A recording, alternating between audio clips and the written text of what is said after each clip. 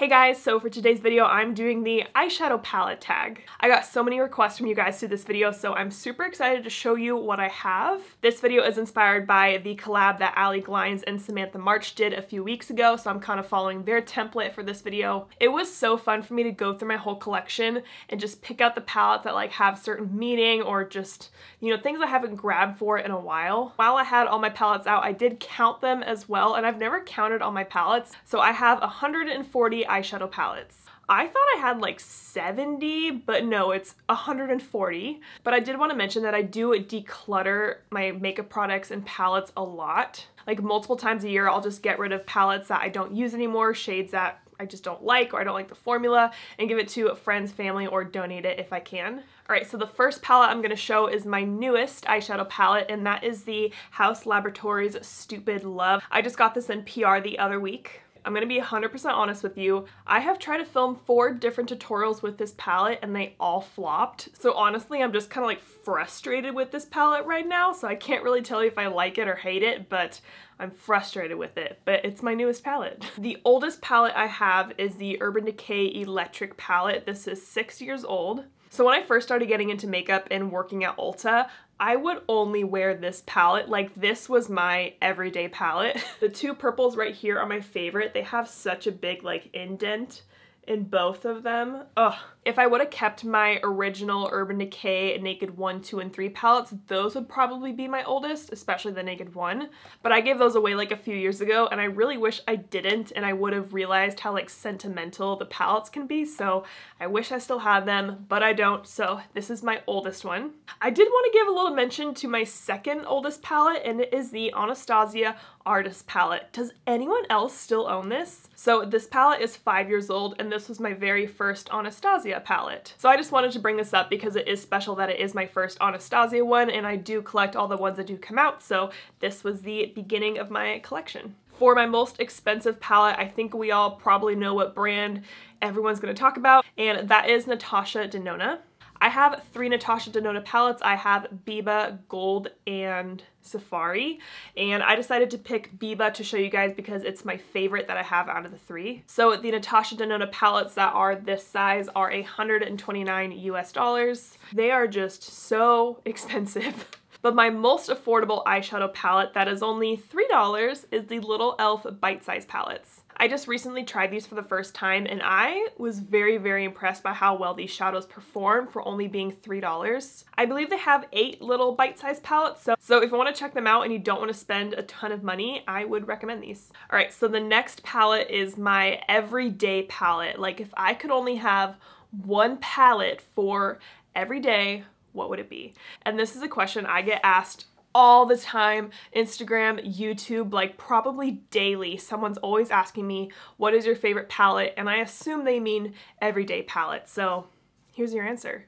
Okay, and for my everyday palette, I am stuck between two palettes. I sat at my desk with these two palettes open, just staring at them, trying to pick one or the other and I just couldn't. So I'm gonna give you two options, but if you're a subscriber of my channel, you probably already know the palette I'm gonna talk about, and that is the original Morphe and Jaclyn Hill palette. Can we just appreciate how disgusting this is? Like, why this packaging? This is an amazing palette, and it is something that if I could only have one everyday palette, it would be this. So for an everyday look, I can do pretty much anything. So if I wanted to, I can easily do like a nice neutral everyday look, you know, use some soft browns, call it good. But you also have the option to kind of warm it up a little bit if you want to do a warmer look. You have beautiful pops of shimmers that are just perfect like and then if I want to smoke out my look I have some darker shades down here a black is so important to me and then if I wanted to add a little bit of color, you have some kind of purpley blue green options down here. And you guys know how much I love purple and green eyeshadow. So for me, this is a palette I would pick if I could only have one for an everyday look. I don't normally like to address kind of drama, but I feel like I should address this. So I believe the Jaclyn Hill palette was reformulated recently or had a change of ingredients. It might be both of the things, I'm not sure. So I think that means that some of the formulas aren't vegan anymore. So if you are vegan and like to use vegan products, I would just double check online before you purchase it. So the other palette I picked for my everyday looks would be the Natasha Denona Biba palette again. I like how this palette leans a little bit warmer, but you still have some nice cool tone shades down here. Again, a black, which I love. I love the shimmers in this palette. The mattes, like this palette just makes perfect sense to me. But I mean, you definitely get more options and colors in the Jaclyn Hill one, so hmm, these are my two picks. So for my most colorful palette, I think a lot of people will agree about this, and that is the Morphe and James Charles palette. It's colorful, it's a rainbow, what more do you need? So if I know I want to do a colorful look, I always just reach for this palette because it usually has exactly what I need. And it's just a beautiful, colorful palette. Next is my smallest eyeshadow palettes, and again, that is going to be the e.l.f. little bite-sized ones. The size of the pans in these is perfect. Like, it's not too big, it's not too small, like compared to my finger, you know?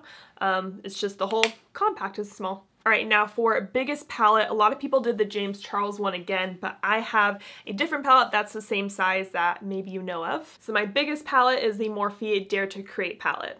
I really, really like this palette. This was the first time that Morphe did this just big, giant palette, you know, with larger shades in the middle. It kind of reminds me of like a muted version of the James Charles palette, you know? But I really like this palette and this is one of the few Morphe palettes that I really truly do like. So next is a palette that holds the best memory and this one was tricky. I really had to sit down and think about it. I saw a lot of people pick like the palette they wore on their wedding day but I'm not married, I don't have a palette that I wore on my wedding day yet. so at first I think I would pick my Naked One palette if I had it, just because that was my very first high-end palette and you know, going just from buying that super expensive like $54 palette and now having makeup be my full-time job, like that's pretty fucking cool. But I feel like I have to pick a palette that I currently have on hand, so I chose the Sigma Cor-de-Rosa. So last year I posted a video of my top favorite Sigma eye makeup brushes. I do that video like once a year, right? And the owner of Sigma saw that video and she invited me to come to their headquarters in Minnesota um, December of 2019. So I had the opportunity to go to the Sigma headquarters, meet the whole team. I filmed a little video, I saw their studio, I saw all their products, and I met the owner and how freaking cool is that? While I was in Minnesota with Sigma, I got to see this palette for the first time in December when this palette launched in March. So I got to see it like months before everyone else. And I fell in love with this palette when I first saw it and I was like waiting for months for this to launch because it's just stunning. So this palette is special to me because that whole Sigma trip was just so amazing and this palette kind of represents that trip for me. Like that whole trip was just the first time that I ever met an owner of a company and it just made me feel so special that they wanted to invite me to their headquarters just to hang out. Like that's, it was just so cool. All right, so next is a palette that is worth the hype.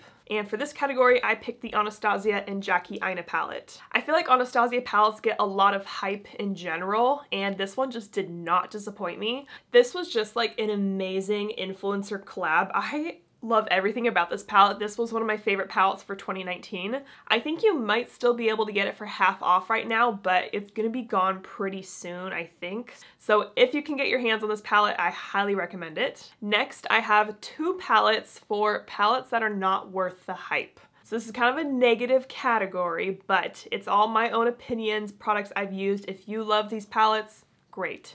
So the first palette that I think is not worth the hype is the Anastasia Amrezy palette. It's hard for me to explain why I don't like this palette. My brain just does not feel happy when I look at it. I don't feel inspired to create looks with this at all. Just don't like how there's more shimmers than mattes. There's two pressed glitters and pressed glitters just kind of suck in general. So that wasted two spots in the palette.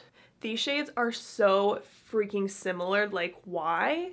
And I just feel like you're so limited with the looks you can create with this, you know? I think I have at least one or two videos on my channel with this palette. I used it, but I don't think it's worth the hype.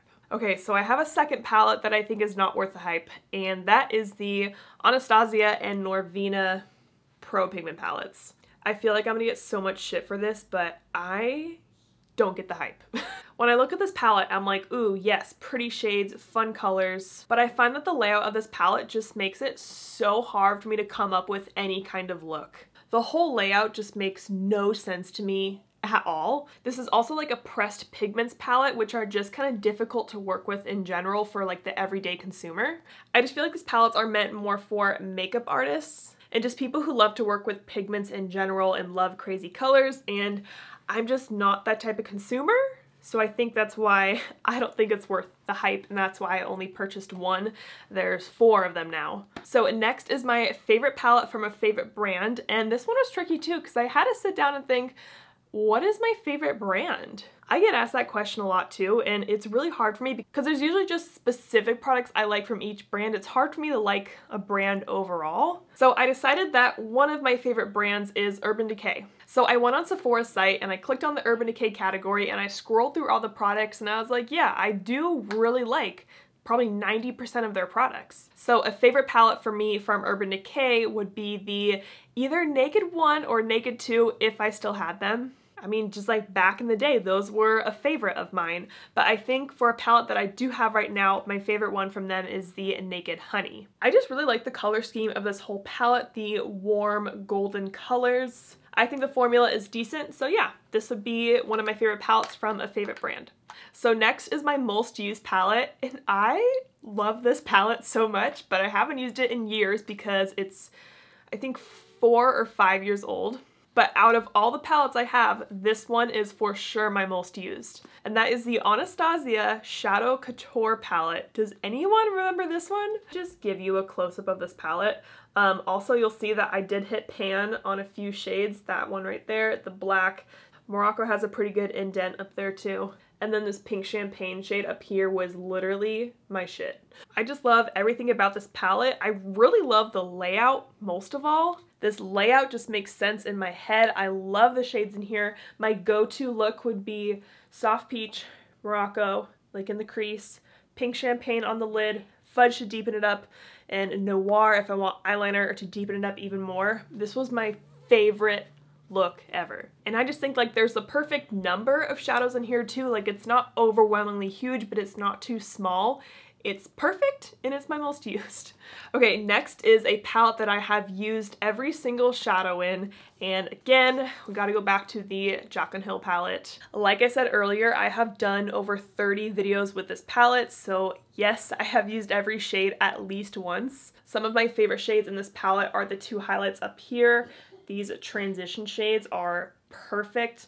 These warm browns here, this green I am obsessed with this deep forest green. So yes, I've used every shadow in this 35 pan palette. I wanted to give an honorable mention to a palette because I wish I could give it the love it deserves but I can't, and that is the Anastasia Subculture palette. I love every single shade in this palette, and I would wear this every day if I could. But to me, the formula of this palette is absolutely terrible and very, very hard to work with. And I know a lot of people think the same. Some people disagree. That's fine. I wish this palette would work for me. I want it to work so bad, but it just doesn't but I just wanted to give it a little mention today. Alright, so that was all of my palettes for the eyeshadow palette tag. This was super fun to film and talk about, and I want to know what your favorite palettes are, and I want to know what your list is. So I'm to leave all the questions down below in the description box if you want to answer which ones are your favorites and stuff in the comments. I would love to know. So I hope you guys enjoyed this video. Thank you so much for watching, and don't forget to like and subscribe.